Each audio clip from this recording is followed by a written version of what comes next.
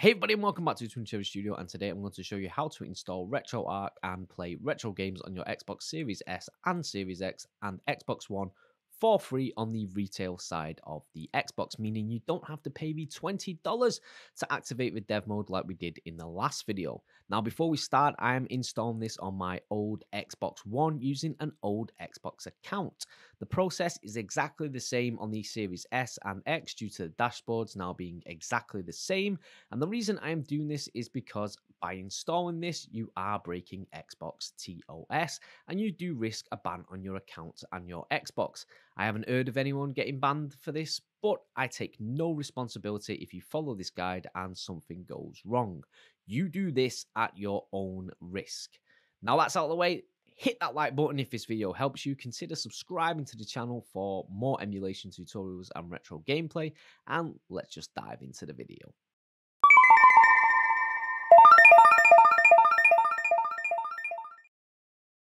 Okay, so the first thing we need to do is on the Xbox, we need to go to the browser Microsoft Edge and open that up.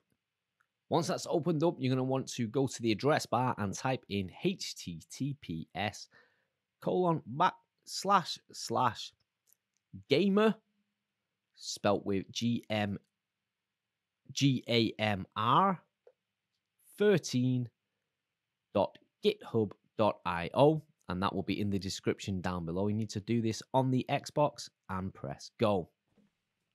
That's going to bring you to this page here with a bunch of apps that are on there. We've got PPS, PP Gold, DuckStation, Flycast, and even Kodi and things like that. But what we're focusing on today is RetroArch emulation. So we need two programs from this. The first one is RetroArch.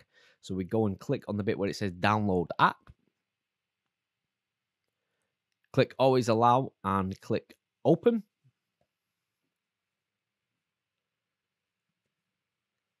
Then it will bring you to a Microsoft Store page. Click the bit where it says get for free and then click got it and press B to back yourself out into the browser again. Now, the second one that we want is Durango FTT, FTP, which is the program that we also use in dev mode. And this is how we're going to transfer our games and files and stuff over to the Xbox. So once that opens up, once again, click Get for free and then click Got It.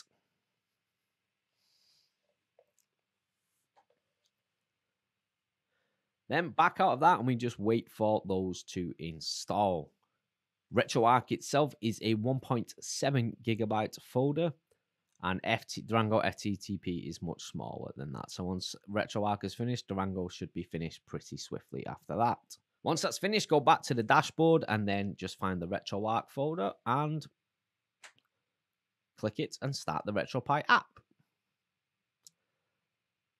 That'll fire it up and we just need to do a couple of config things to make it run a lot better. So we go to online updater and just as last time, we update the assets and we update everything here so that we make sure that everything here is up to date. The most important one there is to update is the assets so that the menu doesn't look as janky as it does here. That'll just give all these like HD uh, text and the font and stuff like that will all start to appear. So once that's finished, you'll see it flash. I'm going to back out of that while that updates. And the next thing we're going to want to do is go to the settings, scroll down to the bit where it says video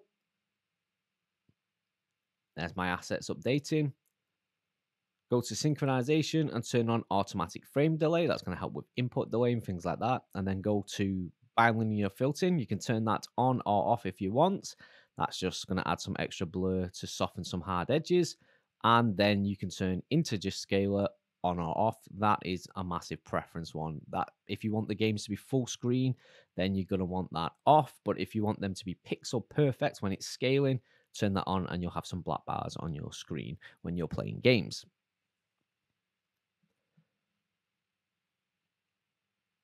Then we're going to want to go down to user interface, click menu item visibility, scroll all the way down, and when it says show explore, turn that off. And I like to turn off favorites, images, and music and stuff like that as well. Then we're going to want to go to the input section, scroll down to the hotkeys where it says hotkey, and then we want the menu toggle controller combo. So this is going to allow you to bring up the RetroArch menu during the game. I usually set that to start and select, but you can choose any combination you want there, whatever works for you. Then finally, we go to the configuration file and save the current configuration and quit out of RetroArch. Now we go to Durango FTP. It's then going to show you the addresses of the device. It's showing me a bunch of IP stuff there that I've blocked out. But the important thing is that I'm using the Xbox One, so it's going to be Xbox One on the FTP server. If I was using the Xbox Series S or Series X, it would just be Xbox. Now, when I did this on Xbox Series X, the FTP server did allow me to use Anonymous, but for some reason, when I was using the Xbox One, one, it didn't allow me to use the anonymous section on here. So I had to set a password, which was just FTP, and the password was FTP as well. And then I click start to start the server. I'm going to move over to my PC and type in FTP colon backslash backslash and then insert one of the addresses there. So for the Xbox Series S, I type in Xbox. The one that works for the Xbox One was FTP colon slash slash Xbox One dot local and that allowed me in. I put in the past username and password, FTP, FTP there, and that brought me into the local files. Once in the local files, I choose the local folder, double click on that, which will then I need to find the RetroArch. So it's the Gamr13.retroarch folder, go inside that. Then we're going to want to find the local state folder, and we're going to make a new folder to put our games in if we're going to play them off the SSD.